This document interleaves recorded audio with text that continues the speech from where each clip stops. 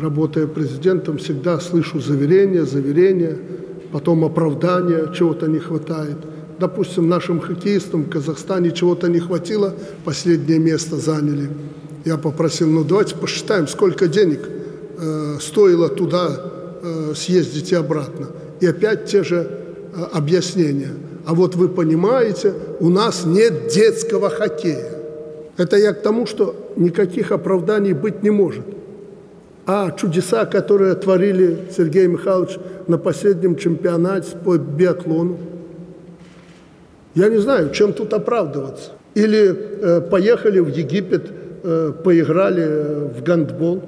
Я не понимаю, как можно вести в 7-8 мячей и потом обвалиться в этот же период и проиграть еще больше еще раз подчеркиваю, едем в Токио драться. И чем больше жмут на людей, тем большее сопротивление.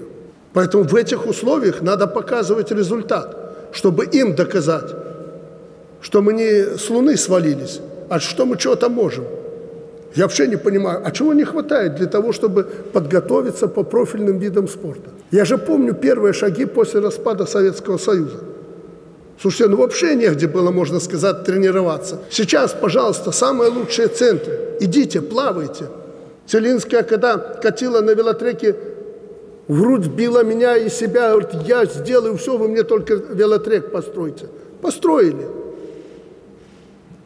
Давайте результат. Вы не думайте, что мы завтра начнем копировать Минск в областях. Нам это не нужно для компактной страны. Любой спортсмен может приехать сюда на один велотрек и тренироваться. Нужен Сергей Михайлович результат. Не дай бог его не будет на Олимпиаде, ну, вы знаете, какой потом будет разговор. Надо давать результат. Ну, я понимаю, это спорт. Но зубами уцепитесь и покажите, что вы можете.